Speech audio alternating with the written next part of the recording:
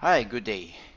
Well, today I'm going to share with you some finding I have about how our electricity company charges.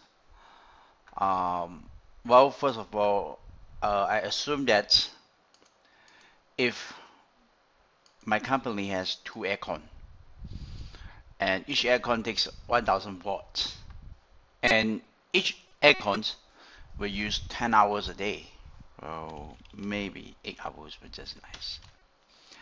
So that comes to kilowatt per hours right which is 8 times 160 right?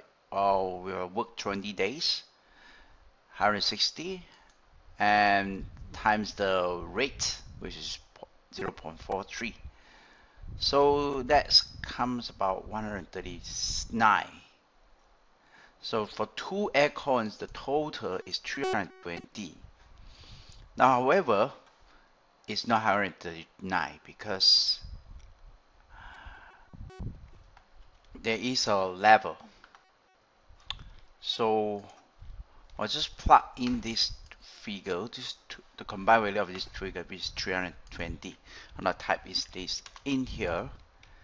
And um, it's actually 148 uh, slightly difference about 18 18 dollar uh, ringgit. So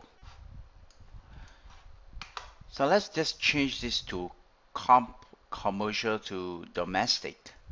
The domestic the rate is uh, lesser 0.21 cent. So it comes to 34 right same amount of usage same amount uh, it becomes 69 so again we compare this with uh, this 260 or 69 right? So follow the schedule here right? We will have uh, end up 87.32 so it's not 69 so what I'm interested is that for housing, if I spend eight hours under the air room, right, that I'll pay one ringgit and 74 cent.